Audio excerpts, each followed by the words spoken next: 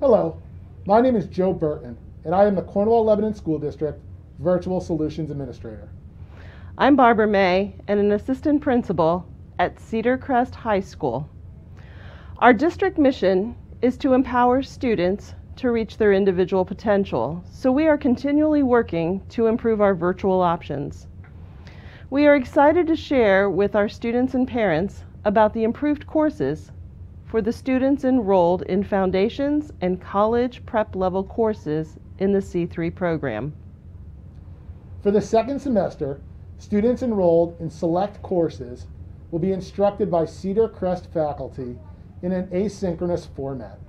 We have listened to the feedback from our students and parents and know that they prefer their students receiving a virtual education from district teachers that is aligned to the district curriculum, pacing, and assessment schedule. This will provide the opportunity for consistency and connection to CCHS teachers and curriculum.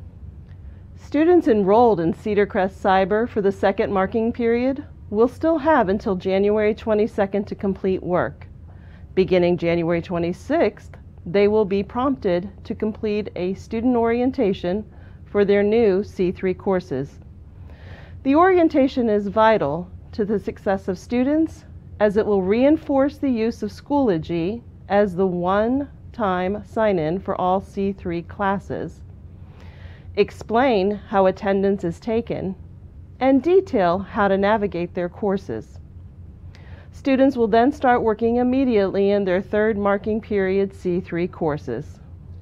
We are planning a student and parent orientation similar to the beginning of the year.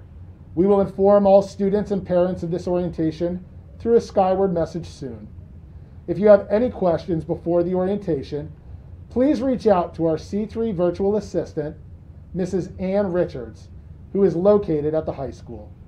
She will handle all calls and offer support or provide an opportunity for an administrator, guidance counselor, or teacher to get back to you as soon as possible. Remember, it is vital that students complete the student orientation on January 26th so that they have a smooth transition to the district's version of C3 courses. The goals for our C3 program include to provide a high performance, asynchronous, virtual learning opportunity to our students, follow the Cornwall Lebanon School District curriculum, course pacing, and assessment schedule, offer a personal connection to Cedar Crest High School staff as the teachers for our C3 courses. Thank you for taking the time to view our introductory video.